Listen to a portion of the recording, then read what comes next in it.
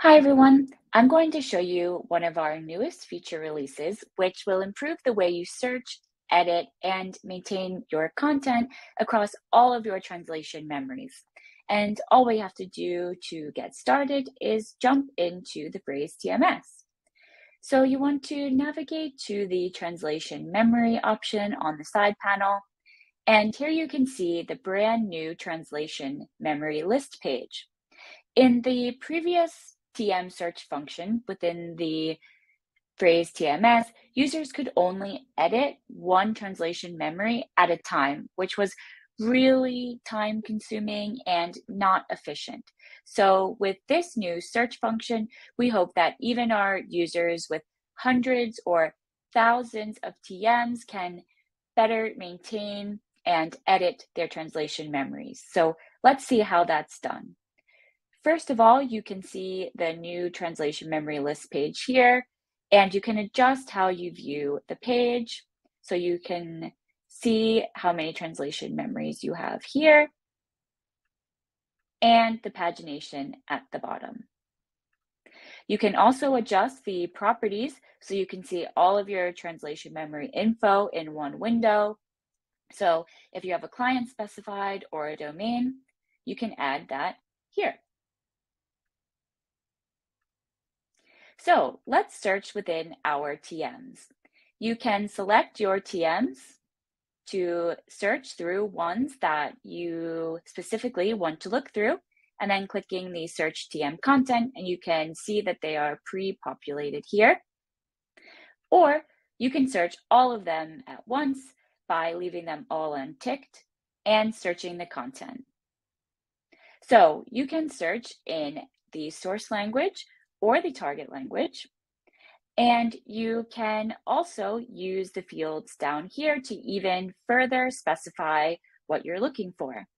So I'm going to search first for a word in English. And I'm going to search the target text. And I can use these options here to further specify if it contains does not contain, or is. You can use the match case or use regular expression, which is a new and improved feature here. You were not able to do this before in our translation memory search. And finally, you can add filters. So if you know the exact project or file, who it was created by, you can narrow down your search even more. But I'm just going to stick with these search results here. And you can see that it brought one translation memory up and three items.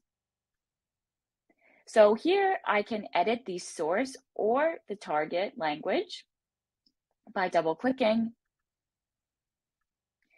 And here I will enter my preferred term.